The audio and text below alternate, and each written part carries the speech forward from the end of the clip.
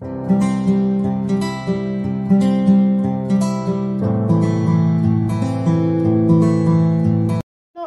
Everyone. Thanks so much for joining me today. My name is Lydia, and this is Time with Lydia, the pharmacist. If you're new to this channel, a warm welcome to you, and to all our returning subscribers, Thanks so much for joining me today. Today, I'm going to be talking about how to live with thyroid problems, specifically hypothyroidism, and I'm going to be giving you some tips that will help you live better with the condition. So please do stay with me to the end so you can learn something. This is a continuation to the video I released last week on hypothyroidism. Hypothyroidism is a condition that results from an underactive thyroid gland, meaning that the thyroid gland is not able to produce enough hormone for the body's needs.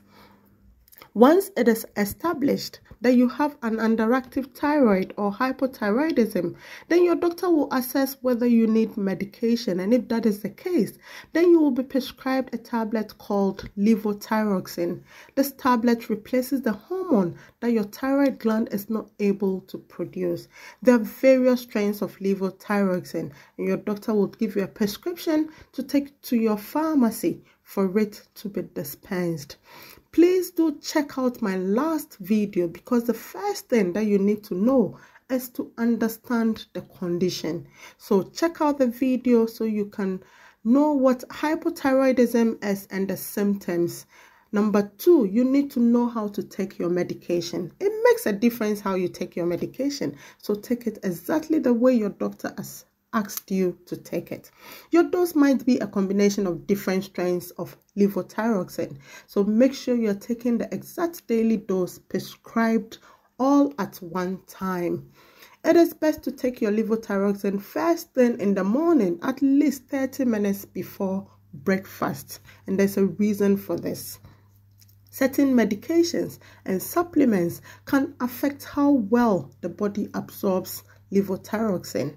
So take levothyroxine at least 4 hours apart from calcium, iron and multivitamin tablets. You can speak to your pharmacist for more information regarding this. If you forget to take a dose, take it as soon as you remember.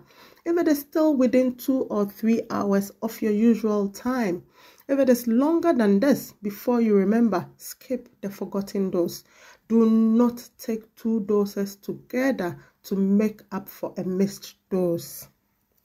Do not stop or alter the way you're taking your prescribed medication without discussing it with your doctor first. Number three, take your medication consistently.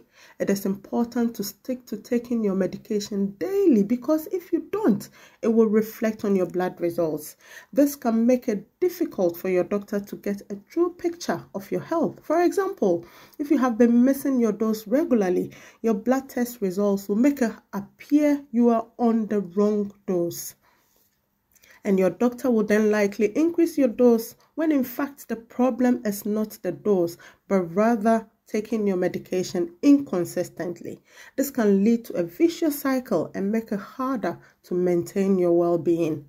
Of course, remembering to take a pill every day for life can be challenging, so there are things that you can do to help. You can get a reminder on your phone or use a pill box or medication organizer.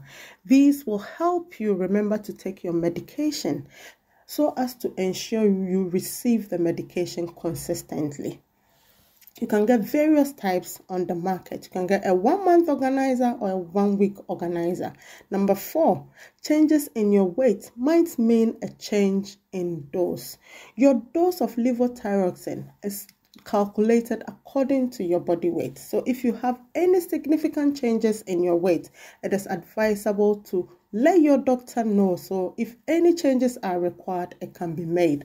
Number five, your condition can affect your emotions.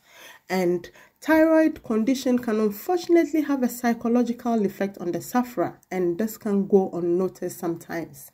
If you realize that you feel emotionally and mentally not quite right for some time, even after blood tests return to normal, it will be helpful to discuss your feelings with someone close to you that you trust. Alternatively, reaching out to others who have had similar experiences through patient support groups or telephone helplines, that is, if you live in the UK, can be helpful. Number six, be aware of certain foods and drinks. Caffeine can stop your body absorbing levothyroxine properly, so it does not work as well. So you should wait at least 30 minutes before having a drink containing caffeine, such as tea, coffee, and energy drinks with high levels of caffeine. Consume calcium rich foods and soya at least 4 hours apart from taking levothyroxine as they inhibit the absorption of levothyroxine. Number seven, you won't feel better immediately, and this is because levothyroxine is a slow acting drug, so it may take several months for your symptoms to reduce. So bear that in mind so you're not looking for immediate relief. Also note that if you have had a change of dose, it may also take a little while for you to feel benefit any benefit. So a little patience is required. For this reason, blood tests are not usually offered until three months after starting or changing your dose, as your thyroxine levels will still be adjusting. Usually, your thyroid hormone levels will be measured every three months until the level has stabilized, and then every 12 months after that. Number eight, biotin can give a false blood test reading. Biotin is also known as vitamin B7 and is used in many cosmetic products and supplements to promote hair and nail growth. Large doses of biotin can sometimes result, result in false thyroid hormone levels, giving a reading which suggests an overactive thyroid or hyperthyroidism.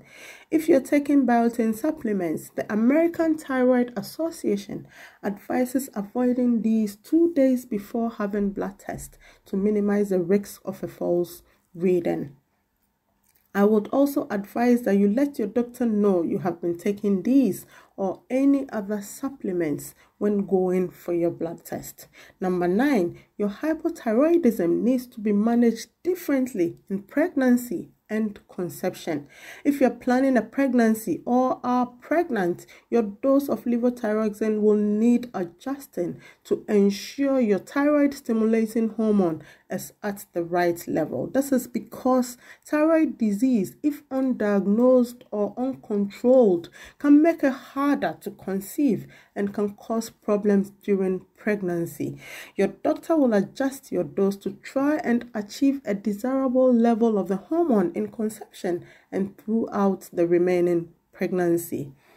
Last but not the least, number 10, breastfeeding is safe whilst taking levothyroxine. I hope you have learned something new today.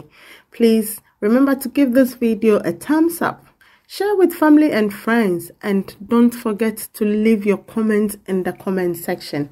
If you haven't yet subscribed to this channel, please remember to hit on that subscribe button and also on the notification bell. Thank you so much for your time today and I hope to see you soon in my next video. Bye for now.